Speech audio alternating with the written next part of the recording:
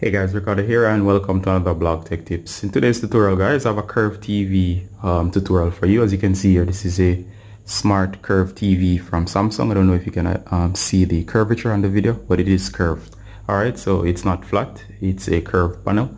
So we're going to show you to download apps on your Samsung Curved Smart TV. So go ahead and get your remote. Once you do, go over and you should see a bunch of options here. Go over to the one that says um, apps. So to download apps, on your smart TV so go ahead and um, go to applications give it some time to load. Alright so once you do you should be in the apps right here. Alright so to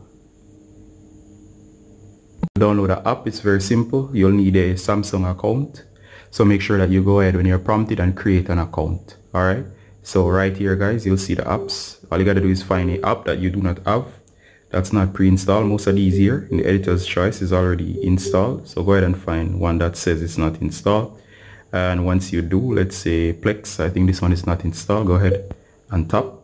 And there you go. Once it says here you're gonna go ahead um, and hit on install.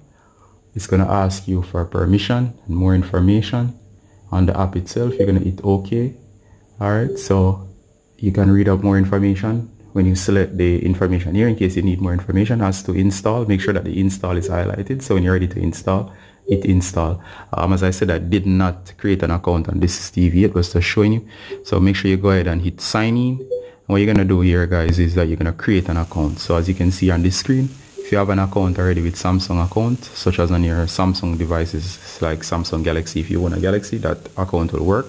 So go ahead and choose sign in use that account or just simply create one anew it's not hard. You need an email to confirm. And once you do all of that guys the app is gonna install. So for now i'm not gonna do it. I'm just showing you where to find the option. So once you do guys you'll be able to install the application. And of course as you can see here you can exit this screen. All right so that's how to go about um, installing apps on your curved tv guys. If you have any question please ask them below. As always Ricardo from blog tech tips and until next time bye